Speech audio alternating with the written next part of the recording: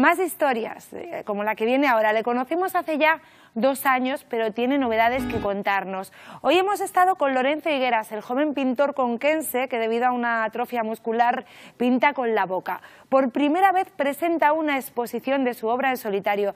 Y es que, como él mismo dice, los límites están donde uno los quiera poner. Vean.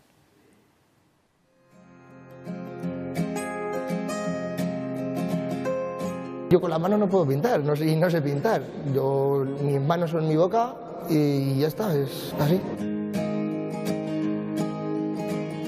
Lorenzo, ¿de dónde surge esta afición por la pintura? Eh, Surge de una mañana que en el colegio mi profesora nos mandó a hacer un dibujo a todos los niños de, de la clase y bueno, claro, como yo con las manos no podía, pues lo hice con la boca y se dio cuenta de que, claro, lo hacía mejor que los demás y además lo hacía con la boca. Y desde entonces se convirtió en el becario más joven de la Asociación de Pintores con la Boca y los Pies, una beca que invierte en la Academia Conquense, Victoria y Damián de Dios. No fue fácil al principio porque hubo dudas de que yo era tan pequeño, encima con mi problema, pero bueno, al final, pues por lo que sea, como en la asociación aceptaron y, y- y sigo allí y espero por muchos años.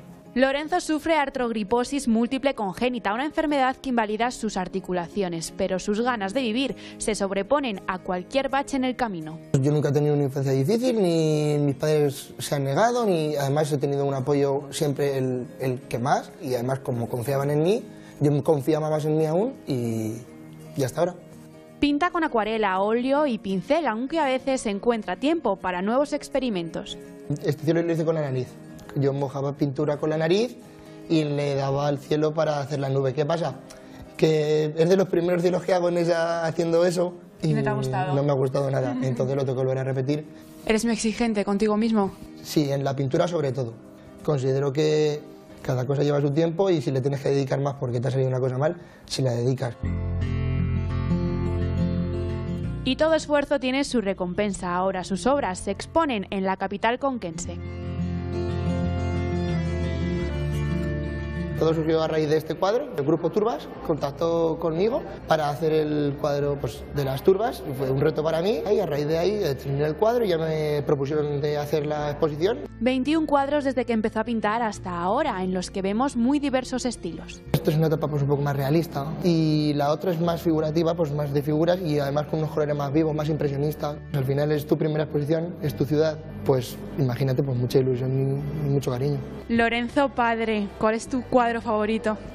Pues es este que tenemos aquí. Es el primero que hizo y muy orgulloso, muy orgulloso. Y nada, y apoyándolo al máximo, todo lo que podamos eh, y lo que esté en nuestra mano, le ayudaremos. ¿Cuál es tu visión de futuro, tus próximos proyectos? Pues eh, sin dejar la pintura, por supuesto, porque la pintura es lo que me da la vida y es lo que más me gusta.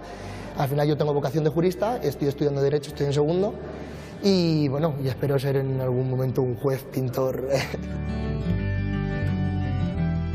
Hasta el 21 de marzo pueden ver su obra en la Sala Iberia. Este es solo el comienzo de una larga y exitosa carrera.